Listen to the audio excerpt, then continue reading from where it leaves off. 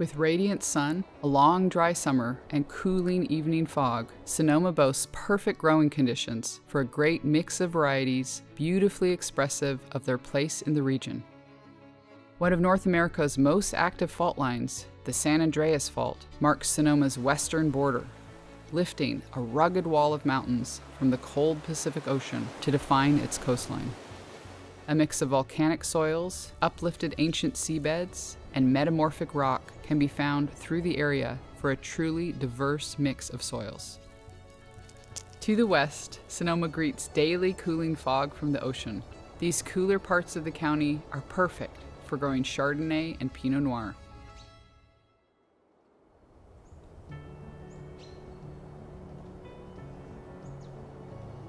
The soil types and the elevations and the proximity to the coast gives me the ability to be creative and experimental with the varietals that we work with.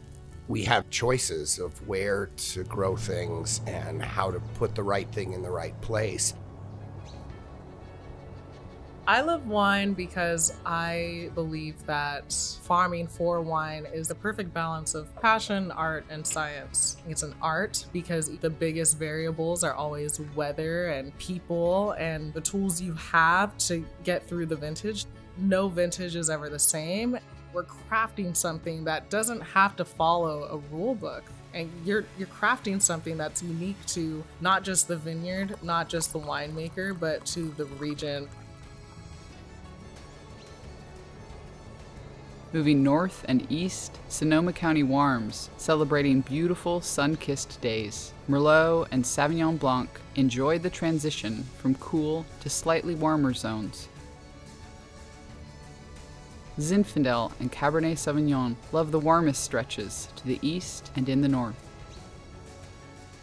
And Syrah can be found throughout the county for a full range of styles.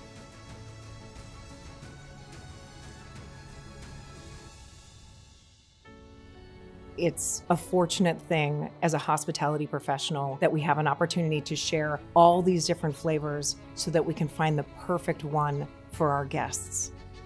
And one of the greater things that we found is the legacy of families that live in Sonoma County. It's a beautiful place to not only raise a family, but to visit as a family. The dinner table is a very special place in Sonoma County where families get together to share wine that's been grown and crafted by families here, along with food from great restaurants and chefs who have grown up with these wines and all the wonderful produce. I love hosting visitors to Sonoma County so I can see these places through their eyes.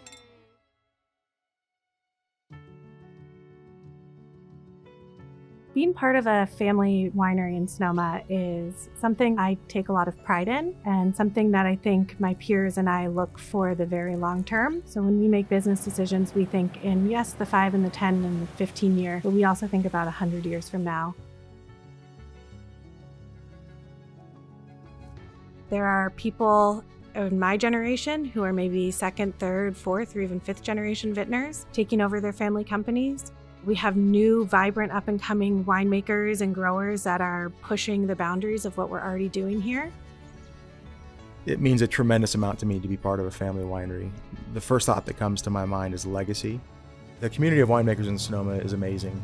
We all want to see each other succeed because we know that it means better things for the county of Sonoma, for our culture of wines.